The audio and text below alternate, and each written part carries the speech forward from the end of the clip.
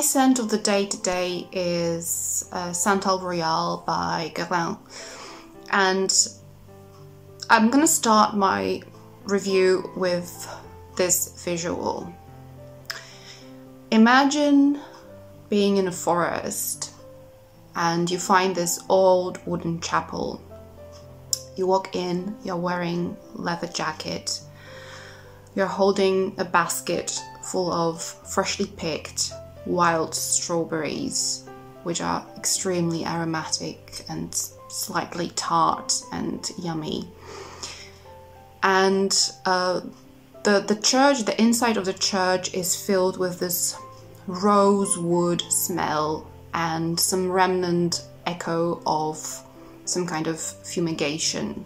The first time I tried Santal Royal, the first thing that my nose picked was rose. But this is not like a rose rose, like a flower, but it's more like a rosewood. This, uh, this rose is woodsy. This rose is spicy. Um, and the second ingredient that is the, the most prominent to me is oud, or kind of incense, some kind of um, um, resinous uh, woods, um, and fruity tartness. The official notes mention peach, but my association with one fragrance that this uh, that Santal Royal reminds me of, namely of uh, Rose and Dragon by Carner Barcelona.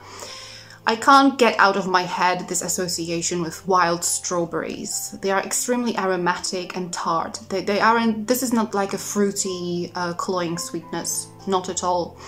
Uh, so um, for me, it's like woodsy, spicy rose with wild strawberries.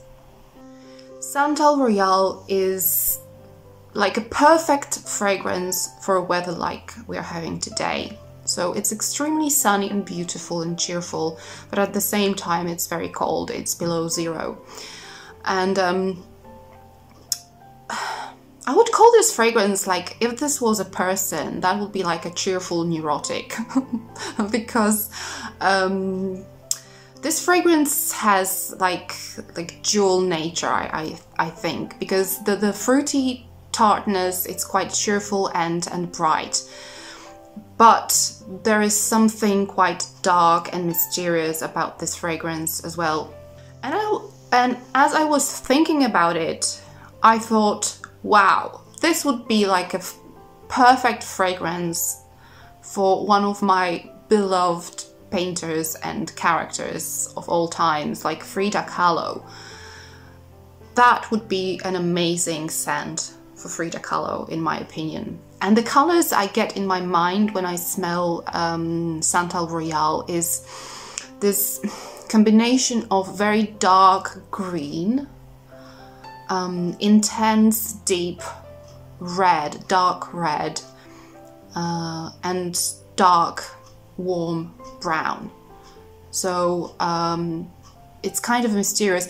And today when I sprayed it, for the first time I could detect um, leather and cinnamon. For some reason they came out and I was like, wow. So there you are, leather and cinnamon. Uh, but the, the, the leatheriness and the cinnamon part, for me at least, is not predominant. Um, and this probably is one of my best finds of 2019. I absolutely love this fragrance.